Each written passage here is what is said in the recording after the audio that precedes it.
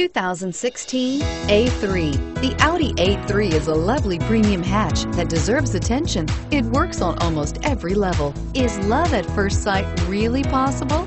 Let us know when you stop in.